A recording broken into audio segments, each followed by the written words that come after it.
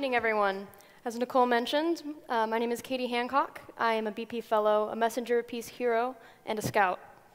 Um, I'm here to tell you a little bit about my journey and how your contributions are changing the world and creating a better future for Scouts and, the, and all of the world's population. So, my story begins um, as a Scout leader in 2015. I was the leader of my group, and we were planning on doing a camping trip one weekend when we heard troubling news of some floods happening in South Texas. Um, being scouts and knowing that we should do our daily turn and knowing we need to help those who are in need, uh, we decided to reach out to our local community and uh, gather donations to take down to the flood affected communities in Rio Blanco, Texas.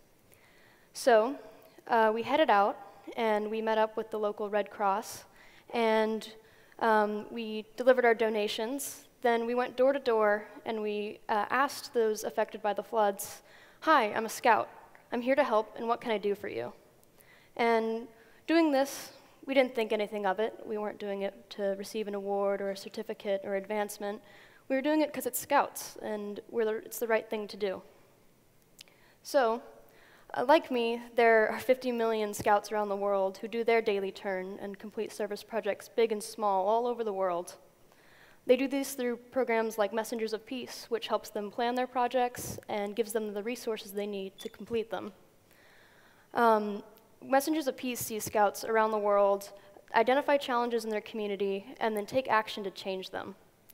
And when we complete all of these projects around the world, uh, we get a lot of service hours uh, around 1.1 billion, actually. This last November, I had the honor to join His Majesty the King of Sweden in presenting these hours to the United Nations as a dedication to the Sustainable Development Goals to be completed by 2030. And when our scouts complete these projects, it's bigger than just the scouts themselves. These projects are affecting those in need and the community permanently from what those scouts have completed.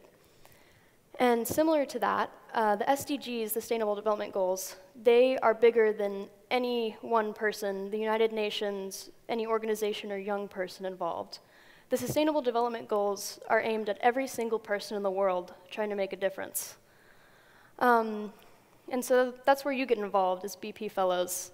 Uh, we're thankful to have your support and your resources and investments because your actions are helping scouts all over the world make change.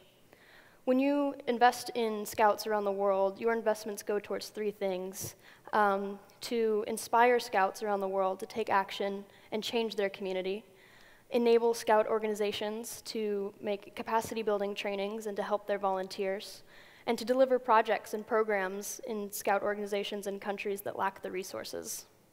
So, thank you. And we also want to say thank you to our volunteers. Our volunteers are maybe our most important currency as they um, bring time, energy, and passion to our program freely. So, I wanted to say thank you again for inspiring all of the amazing people around the world and all of the scouts around the world. And uh, we're going to hear from a couple scouts from this region, and we're going to see how they made change in their community, and we can think about how your investments and your resources are helping them in the future. Thank you.